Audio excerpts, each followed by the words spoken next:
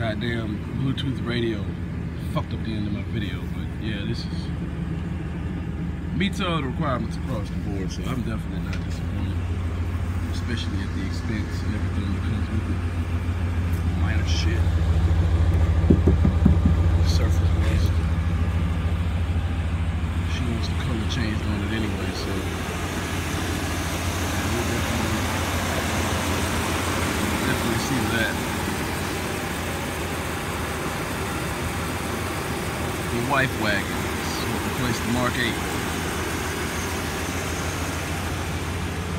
Anyone interested in uh, buying those running boards can let me know. I don't like that shit. I'm not an old man it's not the 90s, so that shit ain't flying for me. But to each his own, I will be taking them off today. Surface rust. Minor surface rust. Full leather interior.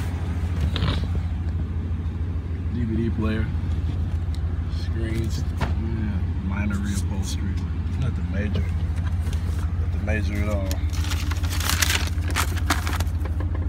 Trans just put in it, end of last year, still under warranty. Brand new radiator, new fluids, all for a thousand dollar car. He had plans for the Mark, so we even traded it um, turn my birthday gift into my wife's birthday gift, so I'm not complaining. Third row of the truck is overall in pretty excellent shape, especially to be a 93. New speakers in all the doors. Uh, that's my radio. Took out of the mark for it. I'm just getting it cleaned up. Yeah, it, it touches up pretty nice, man. She said she went the longest one and for this body style the barn doors so it's coincidental that all of that just dawned on me.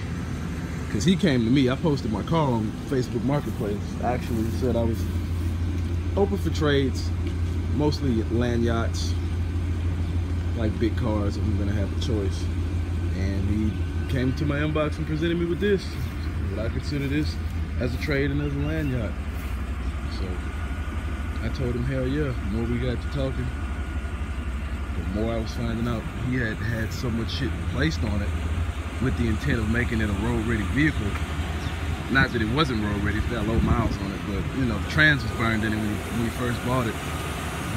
Dumped some cash in it and decided that he wanted to go another way, so I won't even say his loss, we both gained. He got the project car he wanted and I got the tow rig slash the vehicle that my wife wants definitely worth it.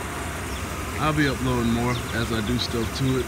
Not really sure what I'm gonna take a crack at first, but that bumper's gonna change. I want the one with the with the openings, like the Tahoe Limited or like the 2500 series of these. I want to put fog lights in those and get it body color.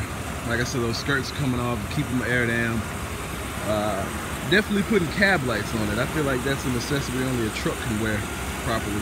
And it's pretty beast. It's got a big ass dually or 2500, anything big. It's got cab lights on it. Something weird that I like. And last but not least, definitely tell it was the early 90s.